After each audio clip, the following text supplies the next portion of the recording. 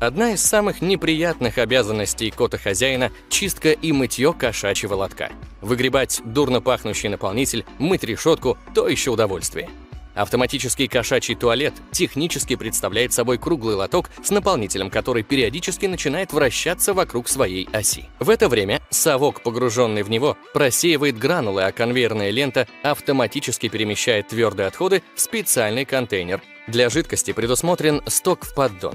Контейнер с продуктами жизнедеятельности придется очищать самостоятельно.